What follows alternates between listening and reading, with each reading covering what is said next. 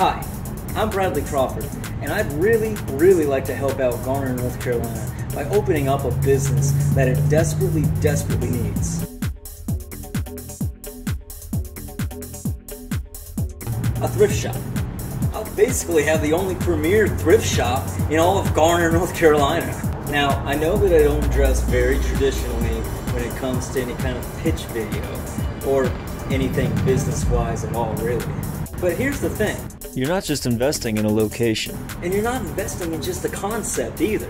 You're investing in me. And I just wanted to show you that I am, in fact, the real deal. Because what will separate us from other thrift shops is geekdom. Mine will be providing everyday thrift right up front and then have everything geek in the back separated. But there will be a strong and organized focus on the fun and mainstream culture that is geekdom. Like the clothing, for instance. You will have regular everyday clothing up front for people that just want to come in and replace some clothing or find some clothing.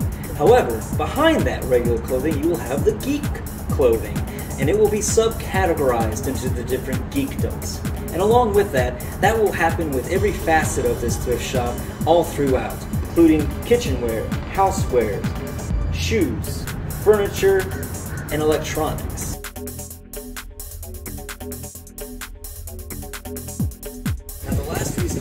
Your attention is the need want factor. Now, first you have the need factor. Garner, that's a big one. Like I said before, there are no thrift stores around here. No real ones, at least. Now, if you look here, Garner is right out of reach of that Salvation Army.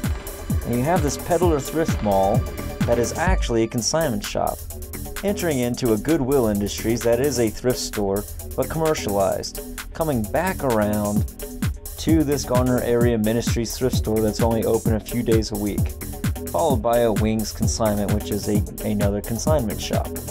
That means that this is not a thrift store, this is not a thrift store, this is neither a thrift store nor a consignment. Then here we have the Goodwill, which is a thrift store, but it's on the outer reaches of Garner. Plus, it is a commercialized area, which means that it's not going to provide the premier services that I'm going to provide. And then last, we have the actual only thrift store in Garner that is non commercialized. However, it is also only opened a few days a week. And then there's the one factor. Now this one's a little bit more interesting. You see, there's all these companies coming right now, but all these companies tend to attract a lot of people that seem to be in the geek culture one way or the other. Now the cool thing about this is that these people that are going to be working in the Durham, Cary, and Raleigh area, they're going to be living in places like Garner. It's a win-win. Now with that, I'm going to leave you with two things. One, I think that with any business, the biggest thing is transparency.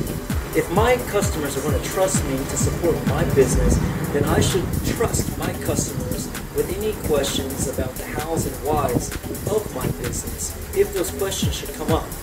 And then secondly, I think that when it comes to a thrift shop, the number one rule is turnover, turnover, turnover. I'm basically going to be getting all my supply for free. It's mostly donations. So with that in mind, why would I sell it for anything else but dirt cheap? And with that, I, I implore you to consider helping me opening Garner's first thrift store, Poppin Tags Thrift Shop. I'm ready to help you find your next treasure at a pauper's price.